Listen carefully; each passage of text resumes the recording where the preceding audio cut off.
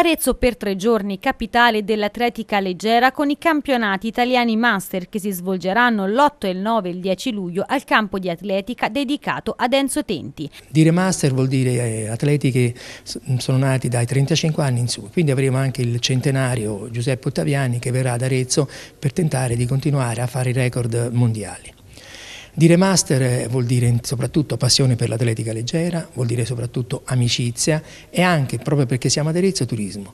Attesi in città numeri record per quanto riguarda le presenze, i partecipanti saranno infatti circa 2.000 e richiameranno ad Arezzo un indotto pari a circa 4.000 persone tra amici e famiglie. Tanti atleti ed appassionati dunque, ma anche ospiti d'eccezione. Avremo come testimone, però non gareggeranno, Sara Simeoni e Gabriella Dora, però loro vengono anche per trovare gli amici.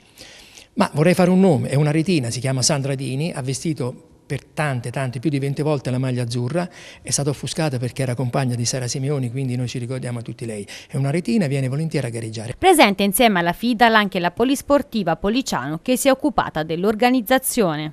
Questo è un impegno veramente enorme che la Polisportiva ha fatto una scommessa, speriamo di poterla diciamo, poi vincere questa scommessa perché ha messo in campo eh, diciamo, anche un'iniziativa così delicatamente importante con eh, presenze anche di molti volontari.